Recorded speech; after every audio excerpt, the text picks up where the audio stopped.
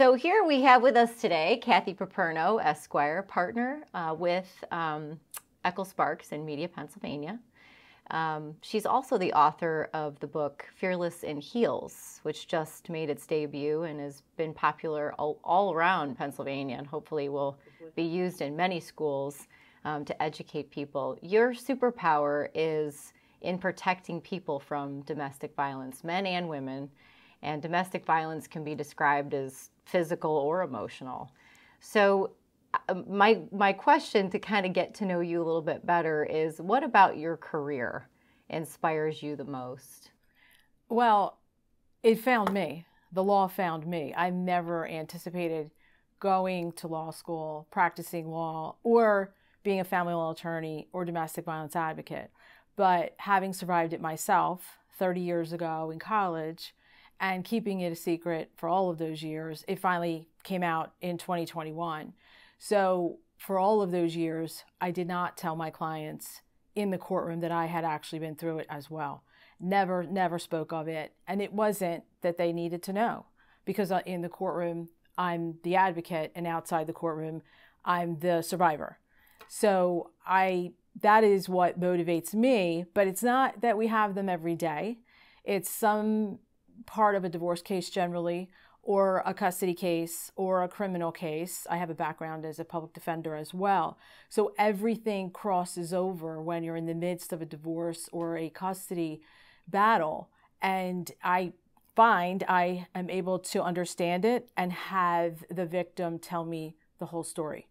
And that's when she gets her power back. So that's what I teach them how to get their power back and either keep it out of court for purposes of the family part of it or in the court for purposes of protecting them.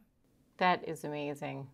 I think the fact that you have the compassion because you've been through it and the empathy because you've been through it, I find it fascinating that you used that as fire in your belly probably every time you were in the courtroom uh, as fuel um, for for whoever you were helping defend uh, in that situation.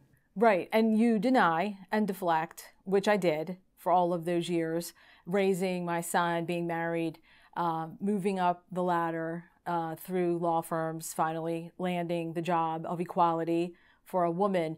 But yes, in that courtroom, whether I want to remain calm or not, I, can, I cannot.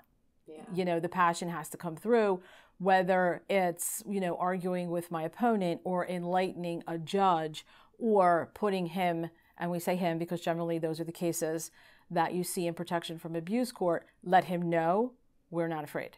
Yeah. And you have to fight back. Yeah. In the courtroom. I think it's wonderful when passion meets mission, right? And when you're mission driven, it's much more about you can't help but do what is coming up for you, what's bubbling up as purpose. Um, as you know, the freckled strawberry is on a mission is dedicated to empowering women in financial independence probably coming and stemming inside of me the same things that you have spoken about as your mission and passion that's driven you, um, the fire in your belly that's helped you help other people, um, is really why I went into to the freckled strawberry. Been in financial services a long time, so what I have found in my own experiences is that when you don't understand and have clarity around financial instruments, people can take advantage of you. You could make decisions that you wouldn't necessarily have made had you known better. So I am on a mission to educate as many women as they can, not just about making the salary or making the grade or you know having enough in your savings account, but really generating some opportunity for themselves in wealth. So money, marriage, and divorce, right? Preparing for the conversation. Um, a lot of women don't think about the money piece before they get married.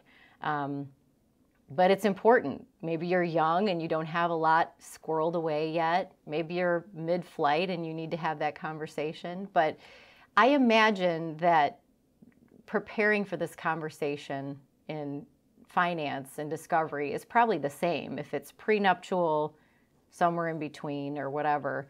Um, but what are some of the observations you have when it comes to financial conversations with women that are entering into either an agreement for prenuptial, in the middle of divorce?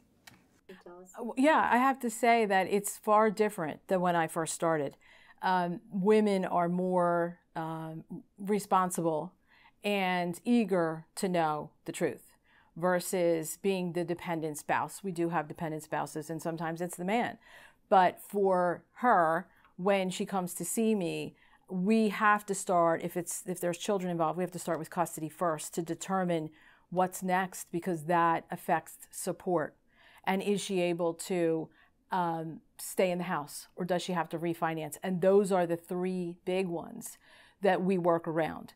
Every case is different. So I tell them we have to know your plan. What is your plan so I know how to get you there? And while she's with me, or he sometimes will run, run the support guidelines to determine how much money she will live on, or if it's him, how much money he's going to owe to see sometimes they make their decision on a separation or a divorce based on finances mm-hmm. or you know the woman never wanting to give up custody because she can't stand having her children away overnight so uh, shockingly they don't come to an appointment with their documents so they're sort of, you know, guessing or recalling how much is the mortgage, he has a pension, there's a 401k. So once we determine is it going to be a primary custody issue for for her or is it 50-50 custody, that affects support. And then ultimately equitable distribution at the end of the case. So I always prepare a chart towards the end of the case because it takes time so like you say we have to gather the discovery from both parties so we can compare what each one has and then determine what the percentage distribution will be. And I find lately, within the last 10 years, they're getting it. They understand, and it's easier to look at it in on paper and then determine what she's going to do. Can she afford the house or does it have to be sold? Thereafter, does she have to move into something smaller like a condo? The school district affects it. So everything, every item in every case, every stage, I should say, custody, support, divorce affects the other. Everything affects the other. And they're getting that and they're understanding it and participating in the plan. Once the discovery is right in front of them, they see the picture and they start making decisions from there. So we, I haven't had one really where someone says, I don't have no idea what the mortgage is. Or he does all the banking. I don't know. Lately, it's the women who do all the banking mm. and they do know what's there. So they have grown leaps and bounds in my 25 year career. That's great to hear. Yeah. So I'm going to say it again. You said custody, support, divorce. Right. So the process, custody, support, divorce. That's the thought process. Let's enter emotions. Let's put emotions into this. So I have found some women are afraid to call an attorney until because they don't know what to expect on the other end of that call. Right. I'm considering divorce. I'm not happy. This is not working for me. Or I'm getting married. I have a lot of money. I have a couple houses. I don't want my, should something go wrong, I don't want this person to take the things I have. Right. So they're apprehensive about calling, um, whether it's money or not understanding how billing works or whatever.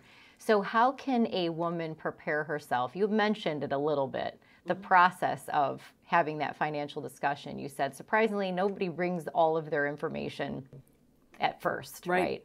right. None of it. Yeah. So when I have the first consultation, it's usually an hour. Sometimes it goes further because it, they they view it as a therapeutic process anyway mm. by telling you the history of it first, then going into the children. So I have a divorce questionnaire that I send with them so they they know exactly what to attach to the questionnaire 401k statements, tax returns, pay stubs, real estate taxes, and then it all comes back to me when we're moving forward. The first, but the actual consultation is too emotional for 99.9%, whether it's a man or a woman. Yeah. They're not coming in with a piece of paper. They're not using my pen and piece of paper. They're listening. And hopefully they leave with all of the information, but once they get the questionnaire, they understand what we're looking for. So I do always have to start with, well, date of marriage. And, you know, I just had someone call the other day with a 44 year marriage. So you don't see them very often. Um, and then we move into, well, who are their children? And it goes a completely different way. If there are, no children, then we don't have to start with custody. Well, where are they? Is there an agreement? Who's, have you left the home? And if you left the home, did you take the children? If he left the home, do you have the children? Because it goes right into the custody piece of do you have a custody order? Make sure you have a schedule. And more and more in Pennsylvania, it's shared physical custody, 50 uh, 50, week on, week off, or a two, two, three uh, every other week. And that's based on work schedules too. Sometimes I have nurses who work three 12 hour shifts and they don't have a choice. The child has to go with the other parent.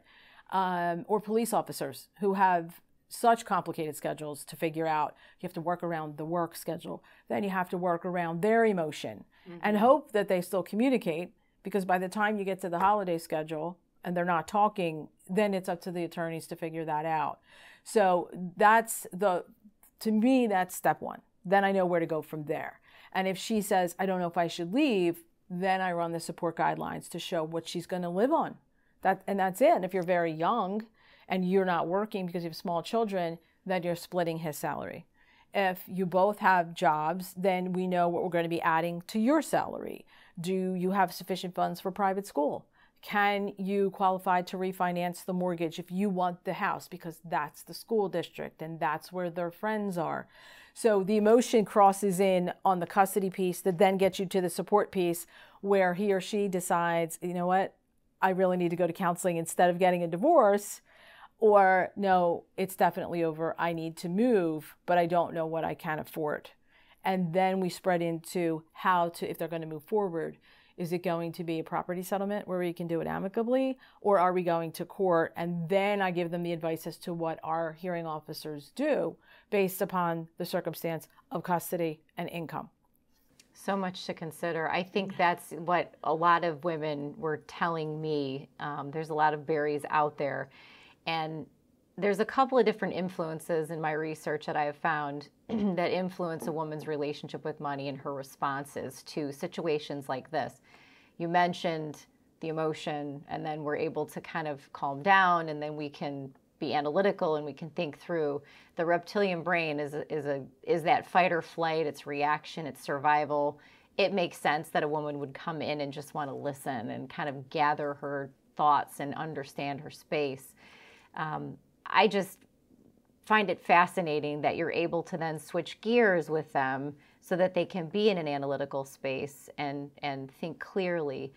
If they're moving into a post divorce situation, um, can you just share with me uh, quickly what you think common things that come up after a divorce? You know, we've, we've made the call, we've worked through the custody, we've worked through the support, we're divorced. Is it going to be smooth sailing from there? Um, generally, well, yes, hopefully, but there's always an issue because you have a duty to report whether you're making more income. So if she finds out you you have a raise or you moved in with your girlfriend and you bought a bigger house and a better car, then you come back in to modify for an increase. If he is making less money, for example, COVID changed a lot for a lot of people who weren't working. That was a big issue for modification to come back into court to lower the court order. So you do, upon decree, have your property settlement agreement, which I tell everyone, this will govern the rest of your life. So this will not be modified. Make sure you understand mm-hmm. it. Take your time, and I'll review it at least five times. Yeah. And it'll go back and forth between the lawyers or the parties themselves to determine what makes sense and what they need. And that part of it becomes say you're, you know, the dependent spouse and you need to buy a house, you don't want to wait for his pension. Right. If he's only 40, right. you're never going to get that money. You need more cash out of the refinance in the house to go and move into the condo so that you can move forward with your life and then the pension will come when you need it. So those are the things that happen that we certainly have to address because the pension is part of equitable distribution, the 401k. We want the 401k check to be a rollover into an IRA for her, a non taxable event. She's never worked, she's a dependent spouse, so she has that cushion while she's then getting on her feet with alimony, hopefully, mm-hmm. based upon need you know, it's not a computation in Pennsylvania. We don't have anything to go by other than is she going to need health insurance because she's going to be removed from his? Is she going to be paying rent or a mortgage? And then our hearing officers in my county will review those things to determine what she needs to then get back on her feet and you know be independent raising the children. So those are the issues that are forewarned in the property settlement agreement and the negotiations.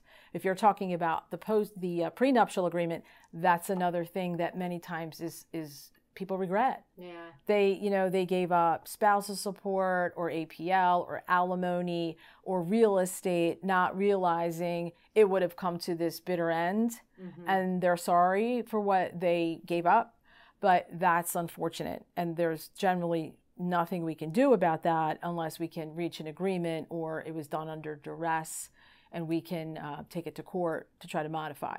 But the finances are different for every single client, and so are the decisions. That's what I'm getting from all this. And, and the Freckled Strawberry, in its mission to empower women towards financial independence, independence is defined in a few different ways um, for many people. But really, it's about having knowledge and understanding into what you're moving into. And it's not static, is what I'm learning, right, from this mm-hmm. conversation in divorce, prenuptial, during marriage, something's growing, festering, postnuptial, there could be there could be issues. So it is important uh, to understand money. I'm glad to hear that there's better understanding walking in the door. That makes me very happy. Right. And we're going to continue to do that. Kathy, thank you so much for being with us today at the Freckled Strawberry and sharing all of your knowledge. Um, in the spirit of the Freckled Strawberry sorority, what advice would you give a woman at this very moment about getting ready for marriage or contemplating divorce? Uh, well, you have to be confident and know what you want. Do not listen to the third parties who are not attorneys.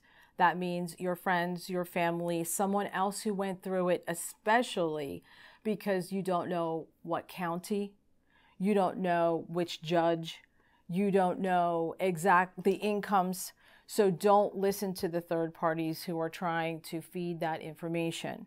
But if you are believing you're ready to move out or move forward, then gather the documents from the house, copy everything, because if it gets bitter, you're going to have to wait to pay to get through the discovery process to do that.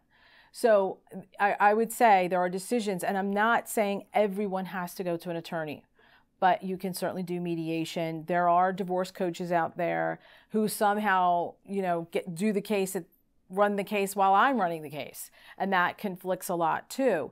But I would say you have to do not surrender your control to the system. Don't. You're smart Good enough. advice. Never surrender. surrender your control to the system. Never. I heard that. And take your power back. Yeah. Take your power back from whatever went wrong in the marriage. Don't let a third party make your decisions for you. You have to trust your attorney, and certainly you can switch if it's not working or if it's not the right that's not the right personality for you. Yeah. But if I start out with a contentious uh, divorce and suddenly they're talking and they're trying to settle, then I'm writing a property settlement agreement. We need to stay out of court. Yeah, yeah, that's great to know. Yeah. So how is Kathy Piperno? going to define success in 2023? Well, for 2023, I mean, Fearless in Heels is now on the library shelf at Widener University after just speaking there.